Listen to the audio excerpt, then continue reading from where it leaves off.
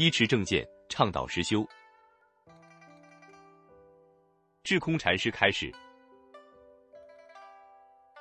如何看待冤亲债主？有徒弟问：最近自己身边来了很多冤亲债主，不知道怎么回事。师傅开始：我觉得这是你修的好的体现。你修的不好，他来做什么？知道你跑不了，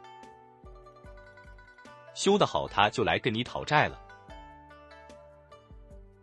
有一个人欠了很多人钱，他一直穷也不去做工赚钱，所以那些要债的人也不来。